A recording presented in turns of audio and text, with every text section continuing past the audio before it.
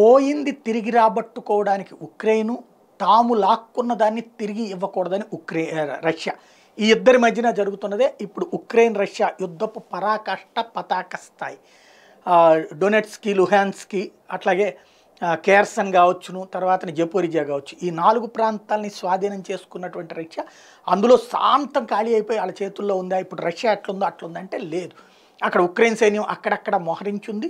అదే సందర్భంలో బయట నుంచి ప్రత్యేక ఆయుధాలతో దాడికి వెళ్ళబోతున్నామని ఉక్రెయిన్ అధికారికంగా ప్రకటించి యూరోపియన్ యూనియన్ అమెరికా నుండి ఆయుధాలతో కొంత కొత్త సైన్యాన్ని మొబలైజ్ చేసి పంపిస్తోంది.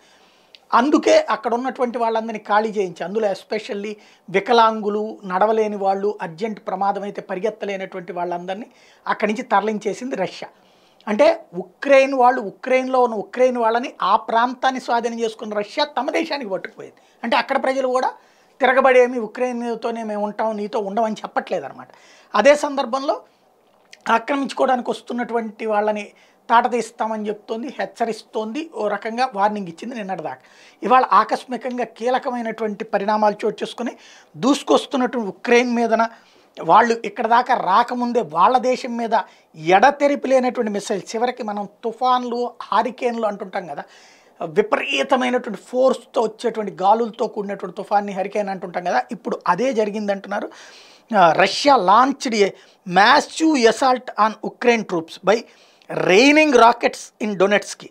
Russia's Uragan hurricane multiple launch rocket system fired a missile salvo at Zelensky's men amid intense fighting in Ukraine.